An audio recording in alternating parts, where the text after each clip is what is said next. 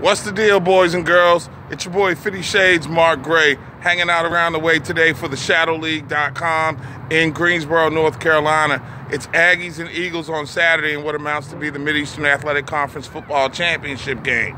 We're here sponsored by For the Fan. You know, For the Fan, rocking the suite, Morgan State gear. You need to get with the program. Thanks to my boy Mike Hinton for hooking me up. Look, we're about to lose a team in the conference, y'all. Hampton is leaving for the Big South. Congratulations to them on a smart physical decision.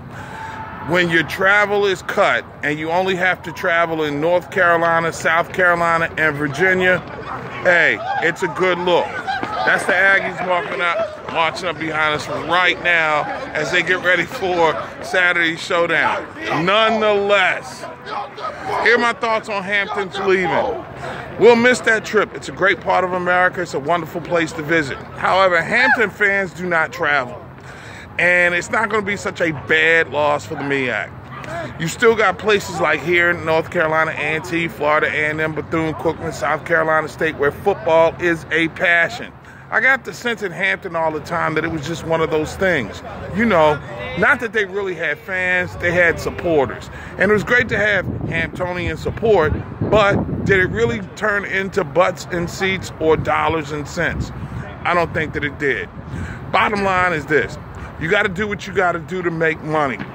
And Hampton is taking the steps necessary to make that money.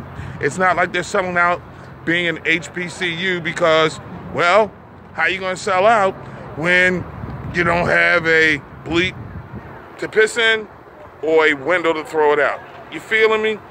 So, congratulations on a fine decision by Hampton. But it ain't the end of the world for the MEAC. You still got fine programs, and you got a conference that has a name brand and recognition. But here's the deal. Be careful what you ask for, you just might get it. Hampton can only hope to be what Tennessee State has been in the Ohio Valley Conference, and that seems to be a move that teams are following. There's a rumor that Florida A&M is considering making a move, as well as other teams bolting for the conference. So I just like to say one thing: when you get to the other side and you're treated like a second-class citizen, remember that was your choice. And I'm not quite sure every predominantly majority uh, conference is going to be welcoming of an HBCU into their league.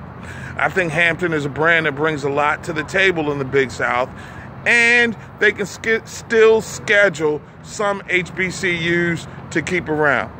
However, HBCU sports will survive, the MEAC will survive, and flourish.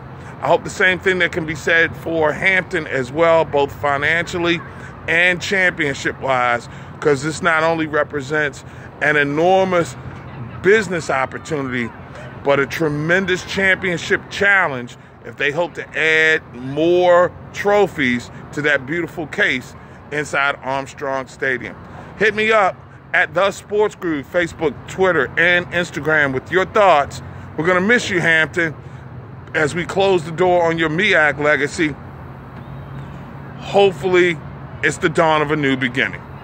It's your boy 50 Shades Mark Gray. Don't forget, check out our exclusive content from here in Greensboro coming up this week at theshadowleague.com. Thanks to my boy Mike Hinton. Remember, the fly gear now coming at you on the HBCU look, courtesy of For the Fan.